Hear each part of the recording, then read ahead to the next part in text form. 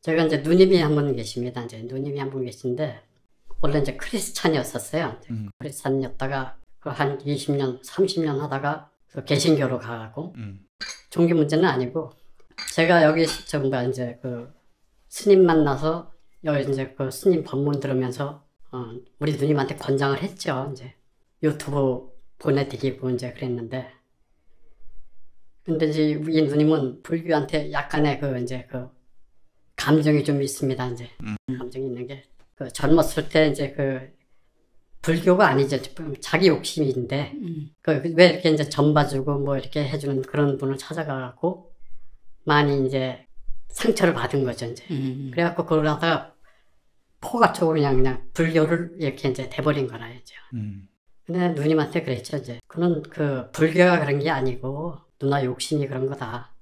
근데 그게 이제 그 마음적으로 이해가 되면서도 그 옛날부터 가졌던 감정이 그 남아 있는 것 같아요. 그래서 그래도 이제 저희 제가 이제 간간히 그 본문을 보내드리더군요. 이제 본문을 제가 보고 이제 그러면 이제 읽었습니까? 보셨습니까? 그러면 봤대요 무조건 끝까지 잘 봤습니까? 그러니까 잘 봤대요. 뭐 이제 잘 봤는지 안 봤는지 모르지만 항상 그렇게 얘기를 합니다. 이제 그렇게 얘기하는데 그 저는 꼭 그 누님한테 같이 가고 싶은 거예요 이 길을. 그래서 굉장히 좋은 사람이에요. 좋은 사람인데 어떤 법문을 그 권장을 하면 좋을까? 아니 그건 이제- 법문도 법문이지만 그 그분의 이제 역사가 있잖아요. 네. 그런 역사도 있고 이 감정이 풀어지지 않으면 아무리 뭐 이야기 좋은 이야기를 줘도 들어가지 않거든요.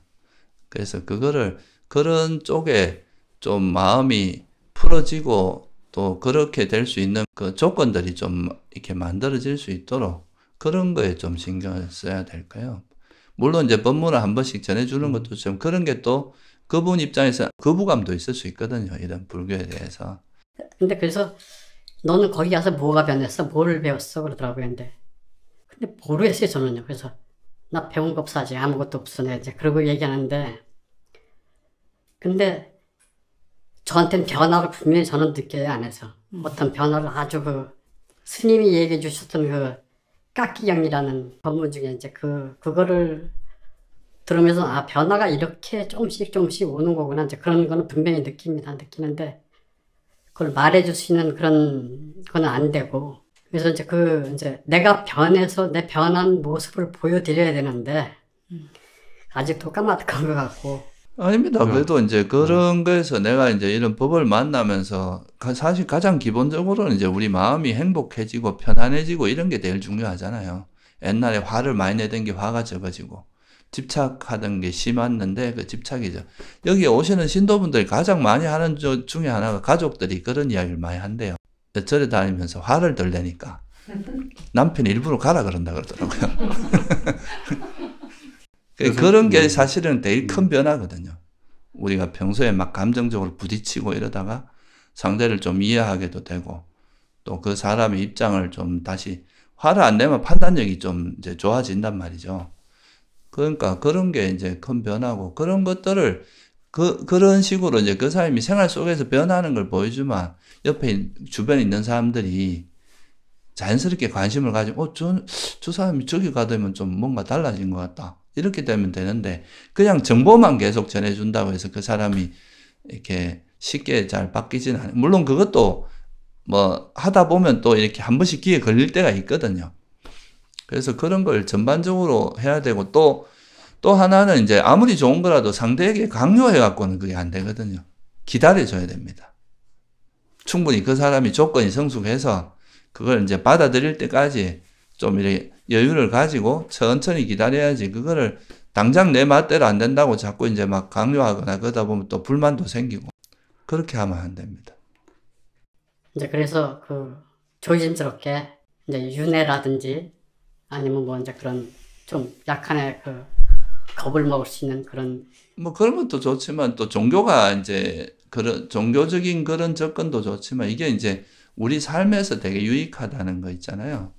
우리가 살면서 겪는 그런 정신적인 괴로움이나 이런 것들을 좀 치유해주고 우리 마음을 되게 편안하고 안락하게 해준다는 이런 점에서 좀 이야기하면 그건 또 종교적인 게 아니라 되게 현실적인 거라서 그런 부분으로 좀 이야기해도 괜찮을 것 같아요. 그래도 적어도 지혜로운 사람이 이 가르침을 들으면 이렇게 부정하기 힘든 이야기들이에요. 그래서 이게 사람들한테 특히 지식입니다. 서양에서는 사실 실제로 이게 우리나라는 지금 불교 공부하면 되게 좀 시대에 뒤떨어지고 막 이런 쪽으로 사람들이 생각하는 경향이 좀 있는데 오히려 서양에는 가보면 지식인들이 불교를 모르면 이게 약간 수준 낮은 걸로 이해하는 그런 것도 있거든요. 지식인들이 좀 사회에서 상류층이 관심을 가지는 그런 종교예요. 그래서 이게 좀 그런 합리적인 측면, 연기적인 측면 있잖아요. 우리 아까 말씀하셨듯이 뭐 이 세상에 있는 모든 거는 이유 없이 일어나는 게 아니고 그런 거 가지고 우리가 이제 노력하면서 살면은 좀 행복하게 살 수 있고 우리 마음을 이렇게 방일해서 방치해 두면 그 번뇌는 자꾸 자라거든요.